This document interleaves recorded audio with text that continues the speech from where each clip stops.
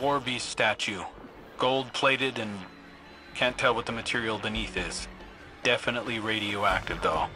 I wonder if Saladin has a War Beast of his own, now that he's working with Caiatl. It's probably best that he's not here though. With his history, I'd hate to see what nightmare the Leviathan would create for him.